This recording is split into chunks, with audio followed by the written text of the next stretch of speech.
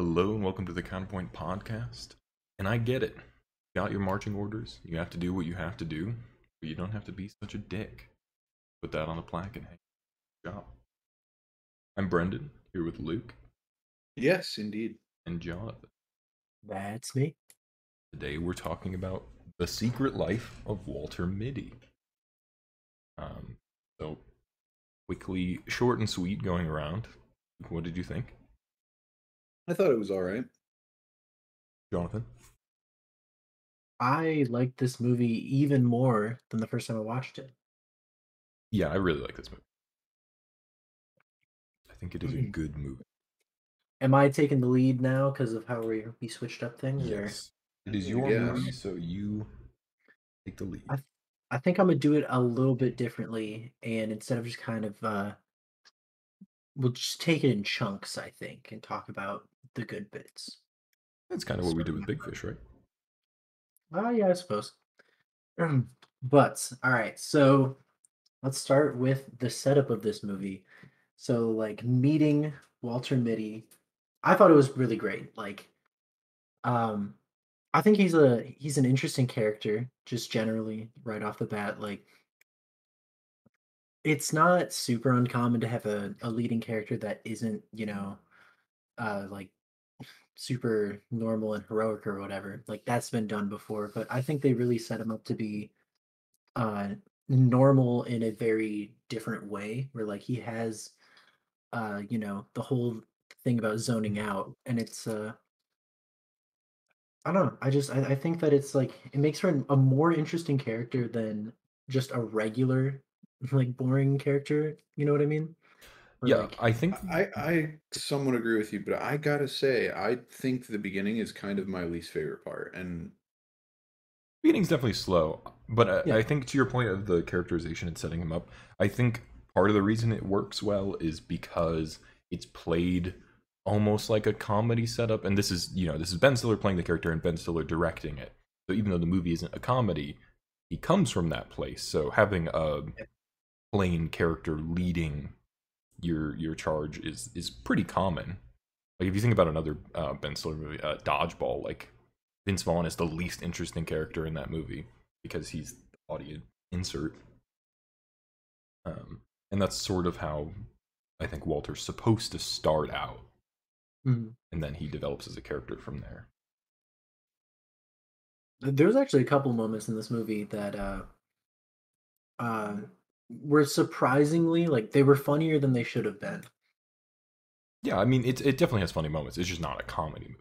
Oh yeah, for sure. I, I would never call it a comedy. I'm just saying like Yeah. this movie pleasantly surprised me in a lot of ways because I knew that I had already liked it, but watching it again, like uh like especially the setup, like the beginning, yeah, it's super slow. But when I was a kid, I I did not understand at all like the heaviness that he was going through, I guess. Yeah, Because like I Yeah. watched this, what was this, 2013? Yeah. I was like 15. chomping my I bit, mean, dude. like, I mean, I like, I was like, I thought I knew it. I was like, oh yeah, like he's just bummed about like. I didn't get it. Now, like watching it, I'm like, oh man, like you know, I don't like, remember what got me to watch this movie the first time I watched it because like the premise is not an interesting premise. I think maybe was- just some of the shots in the trailer were cool. Yeah, I mean, that's I one thing this movie absolutely has in spades that made me want to watch this movie, but I just never got around to it was the sound. Like mm-hmm. Arcade Flower, Arcade Flower. Arcade Fire. Yeah, Arcade Fire is just fucking killer. I love that song. Oh yeah, we're we're I- jumping ahead, but that's my favorite sequence in the movie. Yeah. And Yeah. then just the visuals in this movie are excellent. Yeah, the All cinematography is around, great. yeah. Even the beginning, I actually put a note here, like surprising cinematography. Mhm. Um, I think that that it, for me, the beginning was not that boring. Like it was slow, but I would never call it boring. No, I, it I think it's slow, not boring. It's yeah, just it was just so like it was so uh, pretty. I don't know, all around. I love the way that this movie does text on the Mhm. wall, yeah. like in the scenery Well, in the again, background. the the sequence I'm talking about, like "Wake Up" is playing. The Mm-hmm. time quote, or not time, life quote is, uh, you know, scrolling across the wall or floors of various areas. It's, Yeah, oh, yeah. this is really cool. It's amazing. I cannot gush more about the visuals in this movie, but uh, like every shot is not wasted. Like every shot has a, a purpose and is like visually appealing. Also, um, it's it's surprising how well it does his um, imagination scenes. Like they're they're competent, um, even though it switches genre so quickly. Yeah. And I love that. Like um, when he fought with the uh, the asshole executive, Mhm. like that was a surprisingly competent fight. Yeah. This movie just surprised me all around because I just forgot how um how good it was, like how good the just all of the technical aspects of this movie were. So I just I thoroughly enjoyed the beginning. And then um this movie had like almost a literal call to adventure, which I thought was kind of funny. Oh, it definitely has a call to adventure. But it's like literal, like he's Yeah. literally like calling him to adventure, and I just I don't know, I thought that that was pretty great. Um, an- another thing uh, in the you mentioned like not wasting shots, but another thing is um, I talked about this with with Moonlight is like efficiency of storytelling is is important, and this movie does that. It gives you information in ways that doesn't feel like really sweaty, like it's just trying to get that information to you. Like it's it's naturally done. Like uh, so it establishes his, that his mother keeps his like all his shit mm-hmm. which is going to be relevant later, but also uses it as a setup to show that he used to skateboard in a natural way, so that when he skateboards later, we're not like, why is this 40 year old man suddenly very good at skateboarding? Yeah. And he doesn't just have to offhandedly say, well, yeah, I used to skateboard. Like, we were told this in a, in a way that worked in the movie and, and served multiple causes, which is always good. Mhm. And there's a, there's a lot of that in this movie. One of the weaker parts of the setup, though, I think, is uh, Cheryl. I don't know. Not that her character, it's just like I, I can Um, agree. I just know- their relationship. Yeah, I think that's another thing that feels like it comes straight from a comedy movie where it's like Yeah. the girl he is doting on is always the girl he is doting on, regardless of her characterization or if she has characterization, which Cheryl does to some degree, but she's not like the most compelling character or really gets a lot to do. I just would have liked uh, a bit more. Yeah. Yeah, I felt Cheryl was was uh a bit weak. Mostly just because it, it also to me didn't make I feel like uh, Ted Hendricks also for me it was just not my cup of tea. Because he's just like a, just a plain bully Yeah, character. there's there's not much to him. I mean, it's it's sweet that in the end he it basically is him who decides to put him on the cover. Hmm. But uh it kind of comes across I don't know if he fully gets the choice there. They have to give Sean O'Connell uh, weighted consideration. They mentioned that earlier in the movie. yeah. I didn't mind his character just because uh, I I think that a lot of the characters in this movie are simple by like design almost, Yeah, I Um, mean, it's not about any of them. and like his was funny enough. Like yeah, he, alright. he works for the movie. I think it's just he's he's pretty flat in a lot of ways. yeah, Yeah, he's he's like that in his other roles as well. I feel a lot. Yeah, Adam Adam Scott gets sort of thrown into roles like this a lot. Mm, and he's he should not. I don't know. He he to me he doesn't seem like he's really typecast for like the evil character. Like he's just doesn't. Like don't he think seems like the he's- goofy bad. and yeah, not yeah, really- he's he's not evil. He's just a funny. he's too dick. goofy to be like Yeah, an asshole. I don't know. I think he plays an asshole. pretty well Okay. a lot of spots yeah. I don't know. I like him as an actor. because he's the he's the asshole in uh, Step Brothers too, right? Yes, but in that one he's goofy in a way that it's like funny. He's goofy in this too, though. Mm, in the in like the daydream sequences, yes. He also plays um he plays a dick in The Good Place as well. Yep. And Yeah, I don't like yeah. that role either for him. I mean, none of the demons are like especially developed in The Good Place. Yeah. Michael, I guess. Yeah. Spoilers for The Good Place. You ruined it.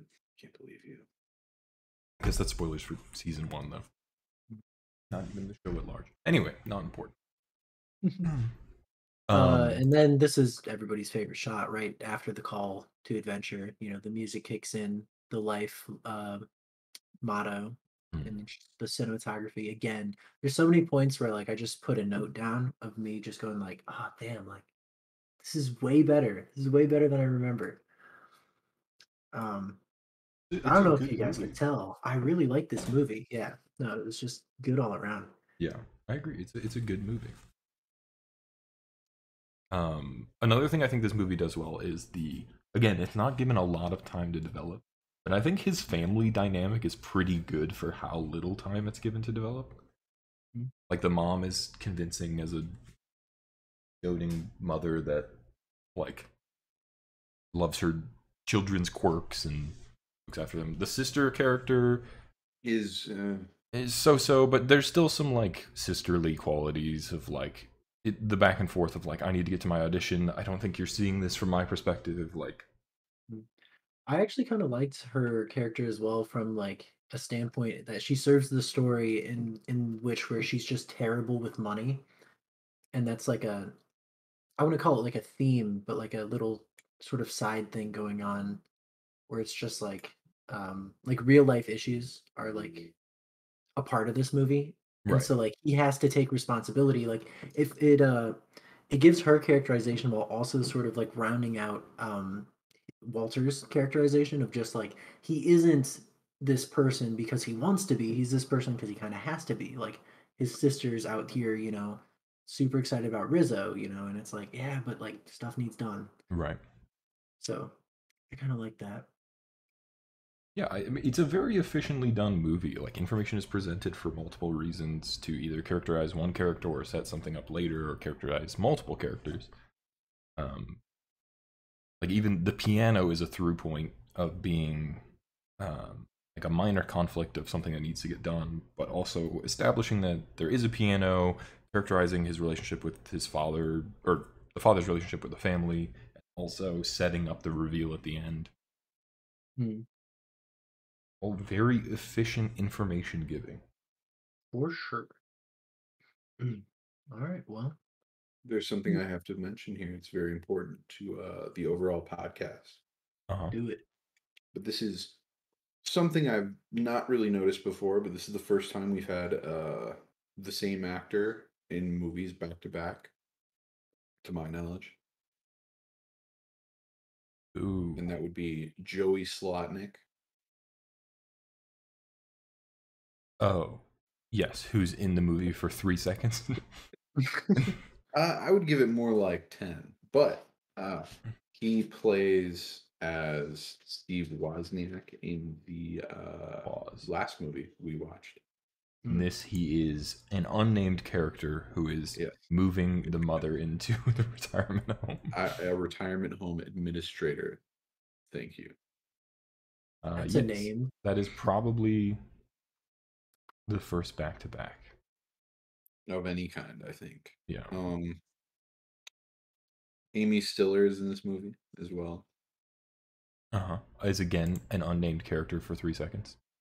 I wouldn't say an unnamed. She literally doesn't have a name. I'm looking at IMDb. Rich's friend's mom. Yeah, not a name. the cast of this movie Um, is really good. I mean, Ben Stiller, Kristen. Wiig. I feel like Kathryn Kristen. Wiig. I'm not a fan of.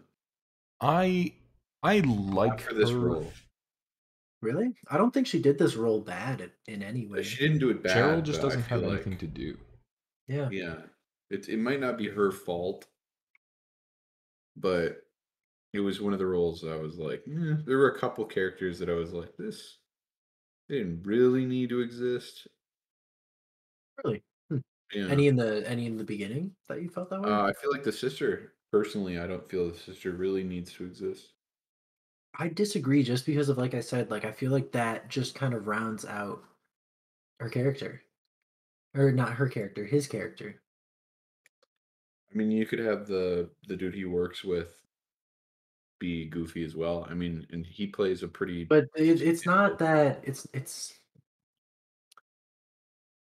it's not that um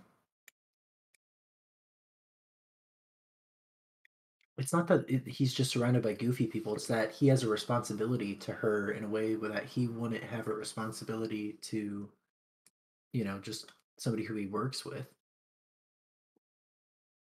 Yeah, I, I agree. I think she does need to do this. And also, I'll just take more of Kathryn Hahn in anything. I think she's great.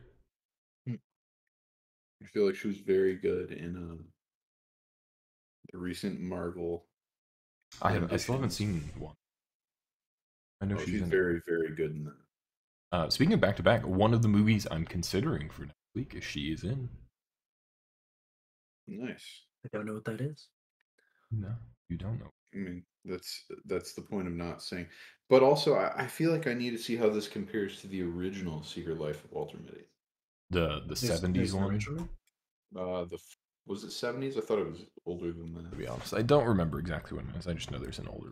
It's like the fifties, I think. Oh, it's a This forties, movie had to be- forty-seven. This movie had to be so much fun to film. I can't even imagine.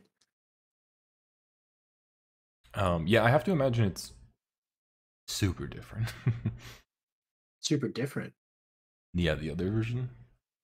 Oh, thought you were saying uh, the the process, but yeah. No, no, yeah. So, anyways, back to the moment, the call to adventure. He's running through the airport. He's got his briefcase. Um, it's all happening. It's all going on. Um, and then we get to Greenland. Not really, not much happens here, really. But uh, I th- I thought it was actually just hilarious though. Um, when the when the pilot's like offering to give him a ride, and he's like, "Nah, I just gotta finish up this beer." It was just like one of those good moments in this movie where I was like, "Ah, Yeah, I mean, it's also funny that he's like, uh, yeah, I was nervous about the storm, so I uh, need to have a couple beers. Yeah, oh, Green- you're, you're you're flying right now? Greenland Yeah. is not a not super compelling part of the movie. No. It does it does set up more of uh, he's thinking about Cheryl and she gives him I mean not literally she but she gives him the push to go where he And needs literally to go. hers in a way as well because they do have the phone conversation uh, in that bar, right? Do they? Um. I don't think they have. It Yeah, was right before. Yeah, yeah. I think it was like while he was getting the drink when he got. Yeah, yeah. He talked to somebody. But that's why she sings that song later is specifically because she says actually says like, well, I think he was wrong to call you. Well, she says that because-" before Well, that was way earlier. Yeah. That was way earlier. Oh, okay. Yeah. Um. Yeah, I kind of I, I like the moment where he decides to get on the plane too. I think it's well done where it kind of goes full circle where you get to see um just um his his imagination and then how it actually helped him in this instance. Yeah, I mean, I've so I've mentioned that the wake up scene is my favorite, but all of the all of the music paired to scenes is good in this. I mean, the soundtrack in this movie is just phenomenal. Yeah, I just mean it, it's all it's all used well with the scenes, Yeah, yeah. not just that it's good music. And then uh let me just get the boat. The boat's another just super uneventful thing. Like it's just here to advance the story. I'm into it.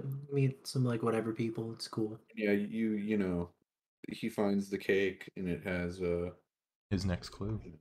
his next clue in it. You know, Mm-hmm. a raging clue, you could say. A clue he yet again does not understand. Yeah. Uh, and then he I actually really like the Iceland bit of this movie. One because I love Iceland, but uh yeah, the Iceland stuff's all good. soundtrack again, just amazing. Um just beautiful biking through. But you know, when he hits that sign, uh like I feel like he would not be able to get up after that. He hit that shit so hard. Yeah, and he just had like a little paint on. Yeah, like, oh, Like okay. no. If it bent your tire, you would be like out cold for a little bit. Um Definitely wouldn't feel great. it was just goofy, but uh, yeah. Um also the when he trades when he trades that the the stretch man for the skateboard, nobody would take that. No, yeah, it Wasn't it's that- crazy. It was insane. I the Uh, only way I could think it's it's feasible is like because Trevor used to skateboard a lot, and Trevor had Uh-huh. multiple skateboards. So I guess if you were enticed by the toy, you could be like, "Well, I have more skateboards." But generally, you're going to be going around on your favorite skateboard. No, there's no way. You cannot convince me that anybody would ever take that deal ever. No, it, it ruined the movie for me to be honest. it didn't ruin the movie. I just thought it was funny. I was like, "There's No, no it didn't ruin the movie, but I was like, what the fuck? Like, yeah, no one would take that deal in their right mind. Yeah. Um, but I also thought it was cool too to use like the one little piece of characterization that you get from him. Not like the only piece, but like one of the like just little things of just him being able to skateboard. How it kind of saves him when he's got to make it to the Ayajafachel. Yeah. And then we get our first uh we, our first look at Sean O'Connell. Yes, we do. Not much of a look, but he is there on top of the plane. um, which interestingly, like, uh, while it's about him, I, I do not think Walter Mitty encompasses this movie. I think Sean Penn playing Sean O'Connell encompasses. I entirely agree. But I Cool. also like the way that they did it, where um, even though he's sort of held on this sort of uh, pedestal, because this movie's all about how, it, you know, it's a movie about how to live life. You know, Yeah. it's not a it's not a secret about how life is the magazine. Like that was definitely intentional. This movie is about life in in a larger sense. Um, I do like how they they play his character as like he's something to strive for, but it's not something like that you have to go to to feel like uh how do I word this? Like they make him mystical, but they don't make him uh like the the epitome of what a person needs to be. I Yeah. just I, I don't think the movie says you need to be Sean O'Connell. I'm just saying Sean O'Connell's philosophy embodies what the movie is trying to convey. Like, Yeah, yeah, yeah. he he goes to these places without a thought just because he wants to and it's interesting and then particularly the snow leopard scene where he's like if i like a Mhm. moment as me sometimes i don't mm-hmm. Yeah. and then he goes and plays soccer because he's like this looks fun Yeah. This is cool. he, it's very much he is the embodiment what the movie is trying to convey and what walter is sort of becoming Yeah. You got to bring up the X-ray scene. Well, we're not there yet. We're pretty close. Oh, we got a ways to go. All right. But yeah, uh, the I I also liked when the volcano exploded, like uh, just how how kind of real their reactions were. Just he was like, "Fuck!" Like yeah when it was exploding, like they didn't. I don't know. It was just another good moment. Um, and then he goes back to New York. I guess we are there. So yeah, Uh, back to New excuse you And goes the- to la yeah, he goes to LA, not New York. Oh no, he goes back to New York and gets fired because uh, she uh, Cheryl calls him, and then you get the text on the mountain. I think you're mixing up where we are. he goes back to new the- york before iceland doesn't he or not before Yeah. iceland before um Oh, no. before, Before he, before he meets Shauna. oh because i jumped ahead yeah. to it you're, jumped you're still yeah. going to ice okay i got you so yeah he goes So back to new york he gets fired Yeah, yeah. Gets fired. Um, again, really not much to he say. gets, whenever he's he like gets told to make a plaque yeah, whenever he's in New York, not much really happens. Um, uh well it, also- it, it it has the the loss of the relationship because he goes to give the the longboard hills there that's true. and then he runs away like a coward because he hasn't learned anything Yeah. Well, I mean, he's just being a respectful person. I actually kind of appreciated that, where it wasn't like. Uh, yeah, he wasn't trying to destroy another. He wasn't like prostrating, like. No, "Oh, no, but he still could have like given the kid the gift he wanted to give him instead of He just did, running he away. did, He did, but he though. left it on the stoop and ran away. But you know what? He could Because- have about timed that relationship. Okay. But yeah, I think that I think that that was less like because the kid still knew it was his because he had the note. I think he just didn't want to be an issue for her with, um, you know, her Bill. potential husband. But he's Yeah, also he's making an assumption there that isn't true. but he doesn't. What? I don't think that that's a crazy assumption to make. No, That I if mean, it ends the- up if- being someone who's repairing his. Not even it could have just as been as simple as like Phil was seeing his kid because he has a kid that lives at that house. There are a lot of other things that could have explained why he was there. I'm not saying that it's like the best. Thing, I'm just but, like, saying he's still a that crazy. coward. He hasn't learned his lesson yet. Because even so, think- he could have still just been, I don't know, friends with this woman he's known for a week. Yeah. He could be, but he could also be like, I wanted more than friends specifically.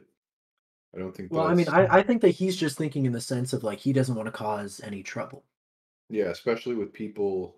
I mean, like as you get older.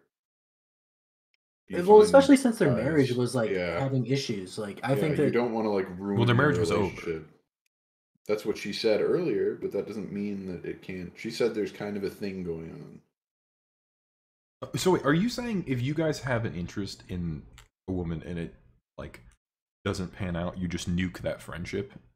no. No, Wait, but what? at the same time, if When did you let's ever say, say that? I'm Because saying that's what I'm saying. She, he could still like. I'm not saying he should have gone there and We're not fucking stolen but you can Cheryl away from shit. Phil. I'm saying he could have like not literally ran away from her house and said hi to this woman he is ostensibly friends with as he's giving a gift to. Which also is the weirdest part. He's giving a gift to a child he doesn't really know. Yeah, but that, that's the point. weird. I think that I think the fact that it, it's not a gift to her, it's a gift to the kid. He's very much so trying to say like, hey, So let me pitch I'm two interested- scenarios I think to he you. was just probably like, "This is fucking weird. What am I doing?" Let me pitch two scenarios to you, Jonathon. One in which a man gives a gift to a child through the parent which he is friends with, and one in which a man just gives a gift to a child.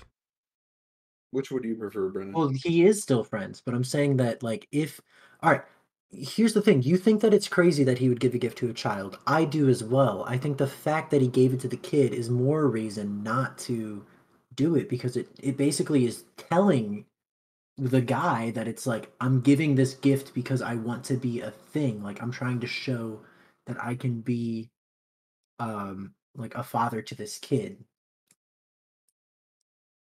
Do you get what I'm saying? I, I, I think it's a bad situation all around, and I think it's made worse by the fact that he flees at the first sign of Phil.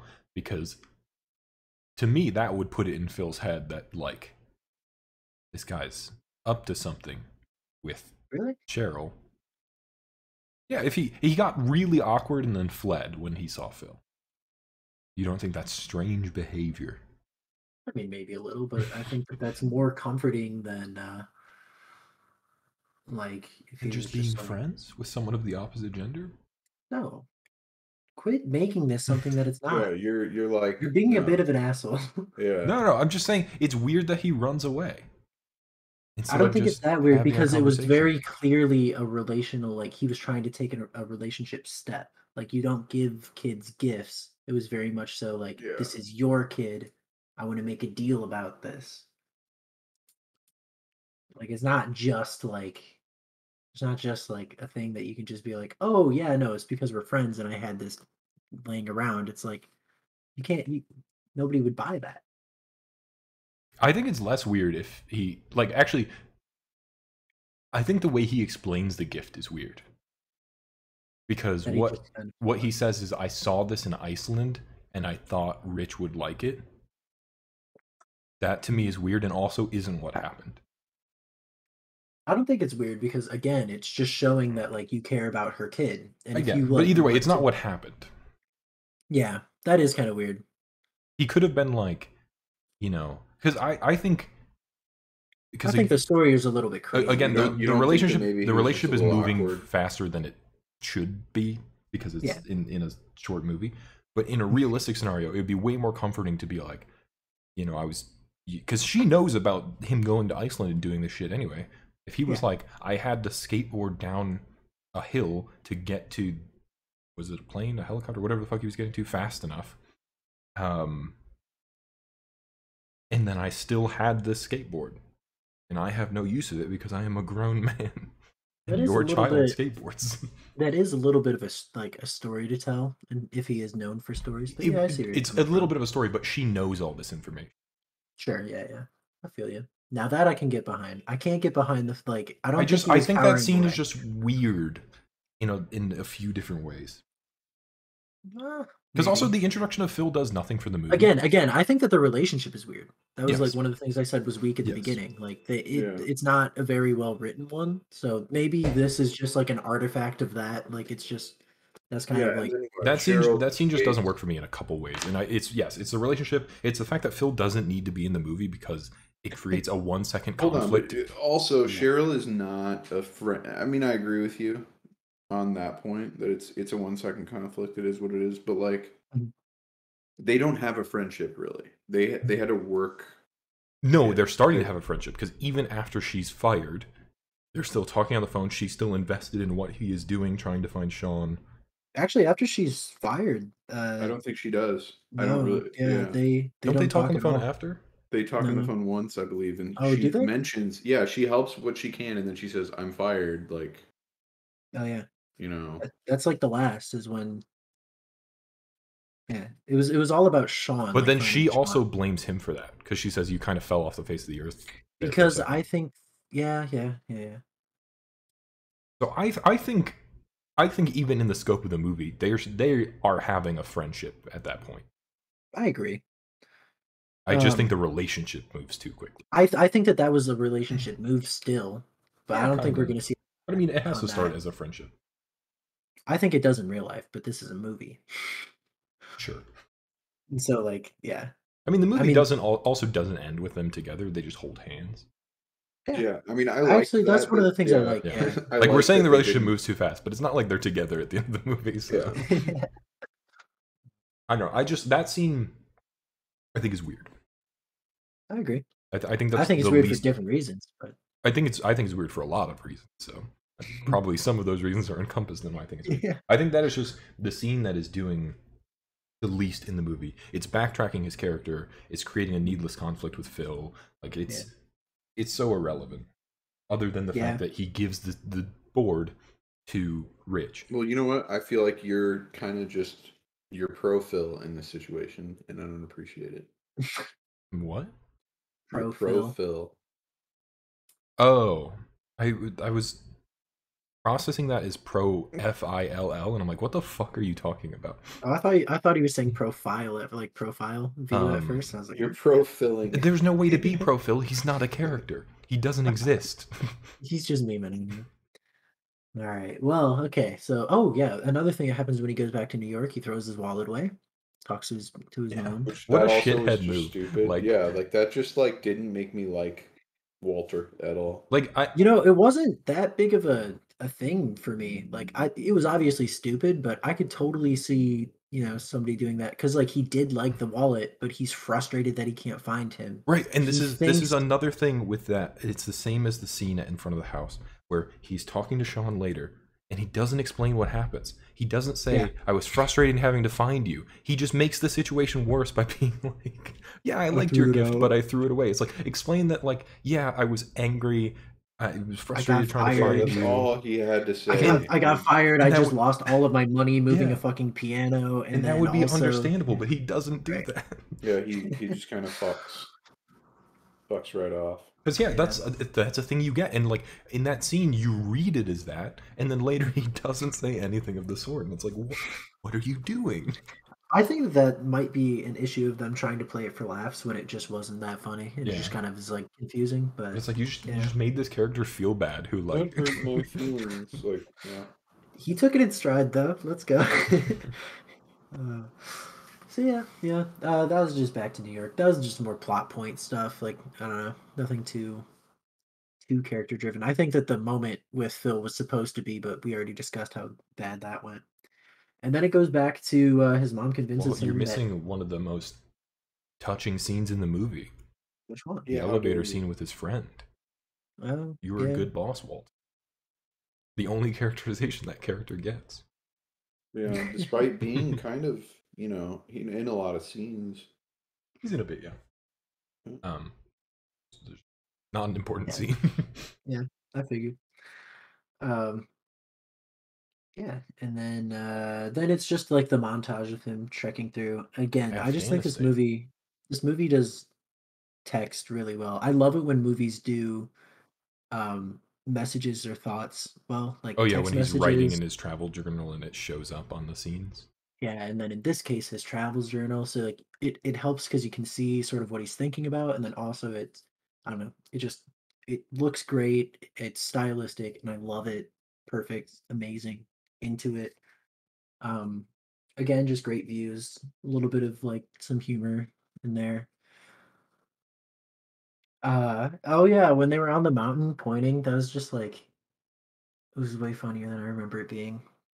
I just I don't know. The humor in this hit me this time around. Like the first time I watched this, I would not have called it a comedy at all. I like I just this movie is what let me find Arcade Fire and uh oh the other one who does Step Out. But yeah, and but then this time I watched it, I was like, you know what? I'm enjoying myself way more. And then we get to meeting Sean. Um, Yeah. Step Out is, uh, is is it Jose Gonzalez? I know he's credited Yes. with the. Yes, Um, it is. I think this is also where I. um, but yeah, See? we meet Sean, and we already talked about everything in this scene. I Yeah, think, so out of order. yeah, that's true. Yeah. Um, I I do like that he like sort of gets at him how irresponsible it was to put the negative in the wallet, because Mm. also negatives aren't supposed to just be out in the open, right? Like it's in a cardboard Yeah, slip. get damaged. It's contained. They're supposed to be in like a tin. Well, Yeah. I don't know. That I don't know if that's manila folder's enough. not enough. It Yeah. not But it, it might have been because you kind of learned that he was in New York, so he probably right, he dropped expected him it to get him that day. Yeah, yeah. Uh, it would have been really funny if it was printed with damage. um, yeah. Uh, so the moment where he doesn't take the photo, you know that, like you had already talked about before, it was you know it's what the movie's kind of about. You know, living life, living in the moment. A little pretentious, but you know what? I'm into it. I I don't think I've that seems said- pretentious. really, Yeah. I guess I'm like, uh, I don't know if I'd say self-aware, but like nervous. I'm because because the thing what is word is. it's not like he's he's going around telling people this is his life philosophy he's just oh, I'm not saying earnestly he- answering the question Yeah, yeah, yeah. I'm not saying he's being. I'm saying like the movie is being maybe a little bit in this moment, but I was into it. i still don't know that i even think the the moment is pretentious I'm glad you think so because I don't know. I think that I'm a little bit of like a sucker for like because we talked about this a bit during Lost in Translation where I thought I would like it more because it's one of those movies where like people who are just like, oh yeah, Yeah. like that. So I I don't know. I thought that this was a moment where I was like, oh, it might be striking that chord in my heart. But no, yeah, it was a good one. yeah liked it. i i think i think it's fine i don't think it's pretentious i don't know luke did do you read it as pretentious Uh, not really. No, I I don't think this movie is pretentious in any point that it's like really pretentious or anything. I think there's a point where they're definitely trying to give you a message, but I don't think that alone makes them pretentious. Okay.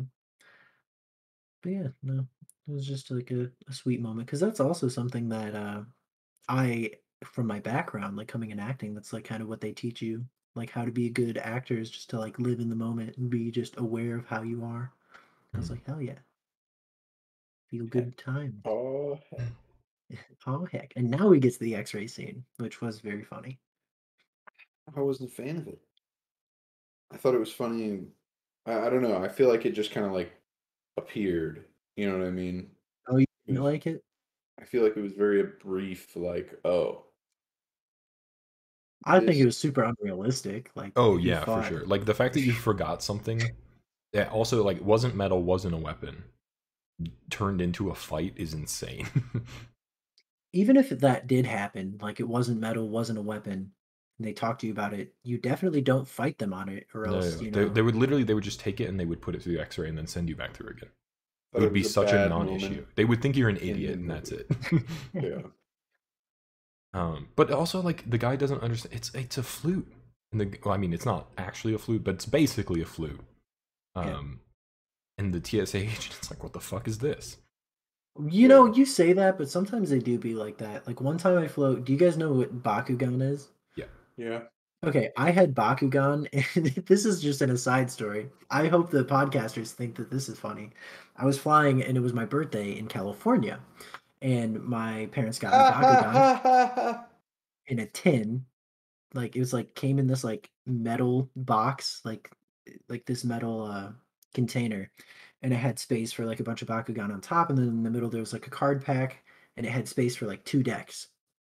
And uh I was like, I was super hyped about it. I liked it. It was great. Um, they got it for me in California because that was when my birthday is. But I flew back and I wanted to bring my my stuff with me.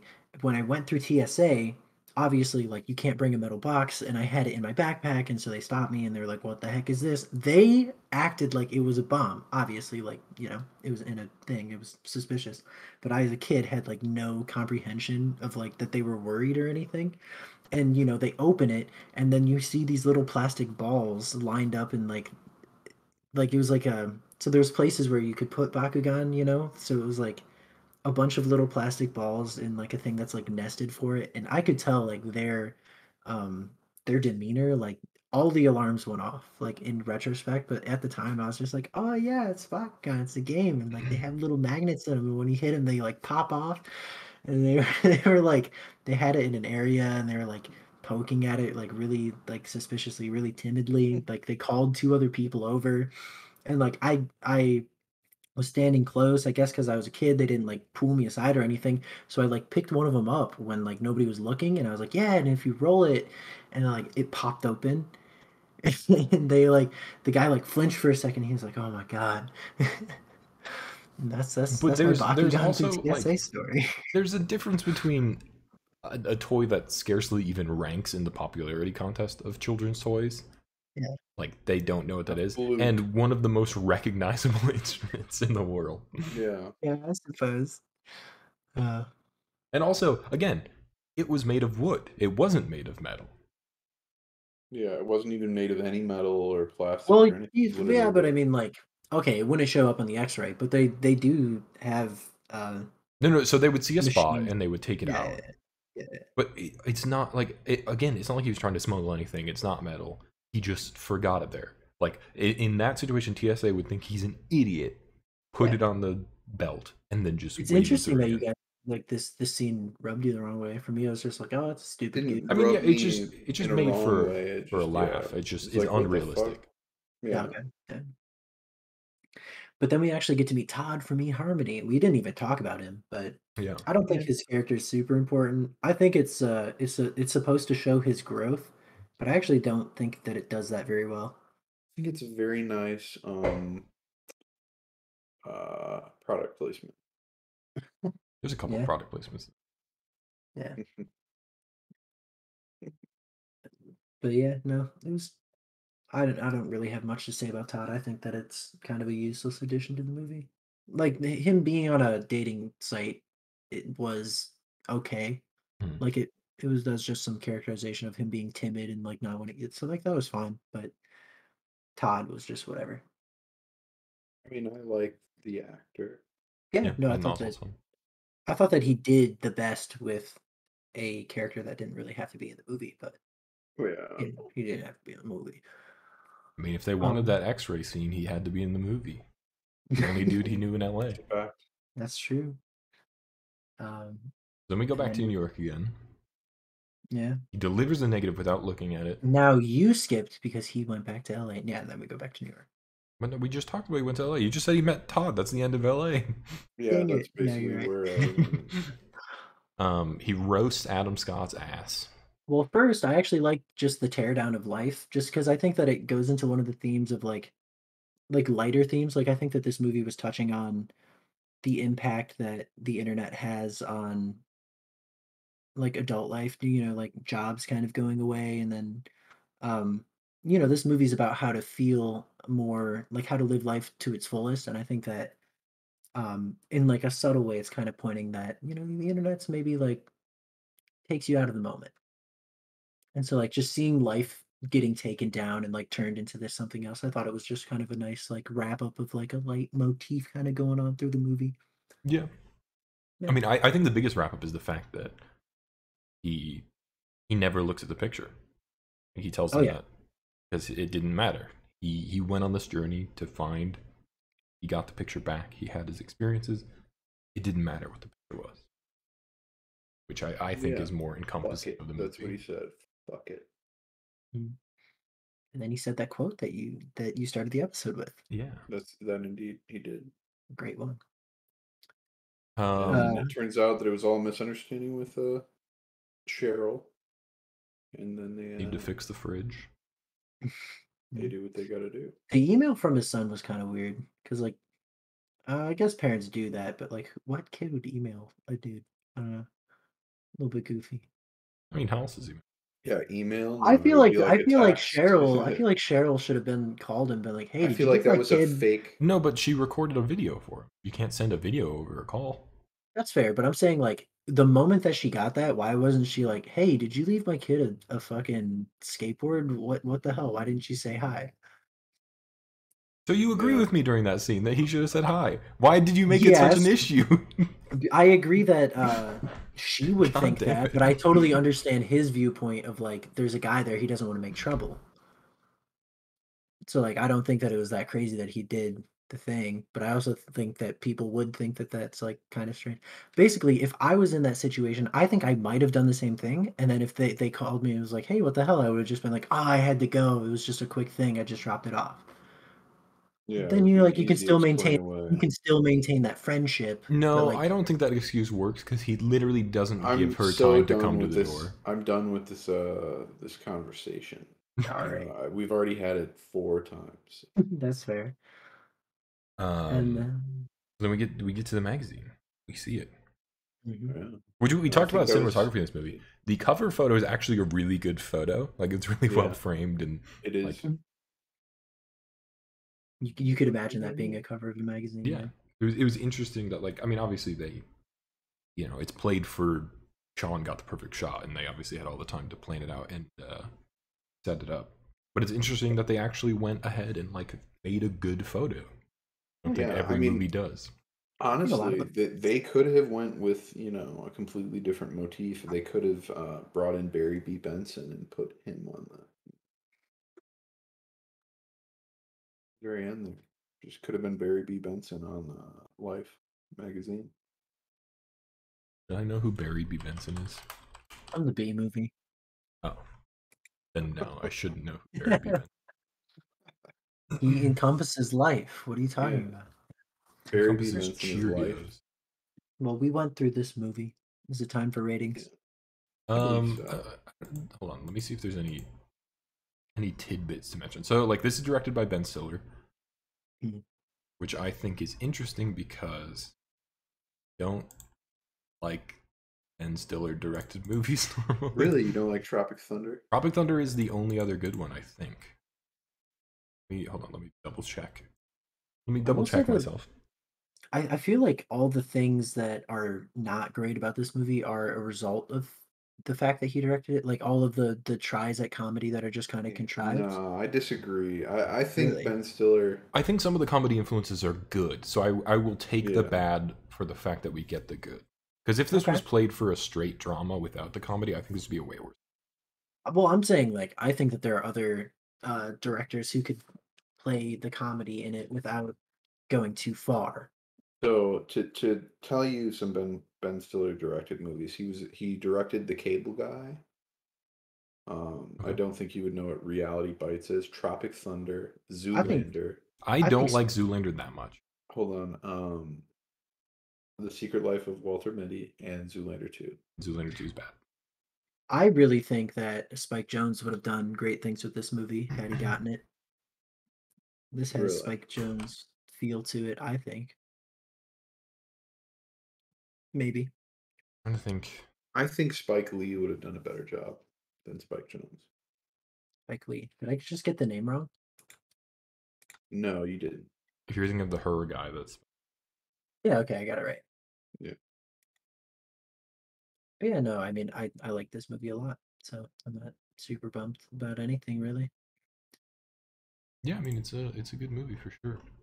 It's I. I but I think it. this It I think this this movie, like the cinematographer really is like the reason this movie was made.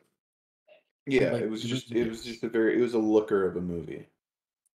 So like the fact that he directed it is less of a thing. It should really be like who was the cinematographer.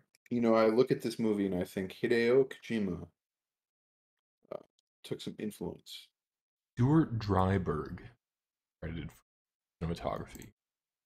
Well, great job, Stuart Driver. What else is he cinematographer? That's what I want to know. Has cinema things. There, there can be no. Because maybe Ben Stiller is just way better than I give him credit for. and He's just. I don't think I've seen good. any movies this guy has done. very well. Mm-hmm. Yeah, I don't. Yeah, I don't think I've seen any of these. Well, Interesting. all right. All right, Luke. What's your overall? It was between a seven and an eight, I'm gonna have to go with my gut here and say seven. Okay. I Uh, enjoyed it, but it wasn't like my thing. Brendon, do you want to go? Sure. Uh, I think I'm gonna give this movie a nine. Hmm. It has some things I would change, but overall, I think it's a very good movie. I I want to give it a 10, but there are things that would be better if it was changed, so I would feel disingenuous giving it a 10. I enjoyed it a lot though. I mean, do you Yeah, feel like you would good. watch it again and again? Oh, like, once- absolutely. would you watch this movie like once a year? Absolutely, but because there's things that I change, I'm just gonna give it a 9. Yeah, I think I could watch this movie. I think I could watch this movie every two or three years, but Still not tied for top spot. yeah, I was trying to get Jonathon to. To, I mean, if you can watch this movie like many, many times and still enjoy it, I think that's a ten in my. I book. think that's nine and ten. For for me, a 10 is like there's nothing that I would change. Yeah, even if it has flaws, nothing. Really? Yeah. I don't know. I, I can I can excuse like a flaw if it's not like a like No, no, it's, that's what I'm saying. less Even of even if it has flaws, Some There's flaws you you have to take to get some good. So like Yeah. sometimes I'd give it 10 even if it has flaws, but I'm just saying that this movie has flaws that I think that it could get rid of and still have the good. So like, like, like that's why I'm Jurassic Park and. T two have flaws, but they're movies I would probably give a ten. Yeah. I think for me, like your name, for example, I think I went over. I would change the ending to end right when they just see each other, and that would be the ending. Um, but I don't think that makes the choices that that director made to to make the ending like more drawn out. That was his choice, and I think it's still a ten out of ten movie either way. Yeah, because I would watch it again and again and again. Just because I don't personally like how the ending went out. Like I like a more bittersweet ending, you know, but that me. All right, so next week is my pick. Um, I don't have a definite pick yet. I'm Dare you. between a couple things. I kind of wanted to pick a Brendan Fraser movie because I thought that'd be fun. Um, and I'm also uh, between uh another movie, This Is Where I Leave You, which is the movie I mentioned that has Kathryn Hahn. Hmm. So no official announcement on next week's movie as of yet. I will have to make my formal decision. But that is it for this week. Very well. Thanks for listening. That's how it be. See you next time. Jonathon, Bye. if you don't say there it is.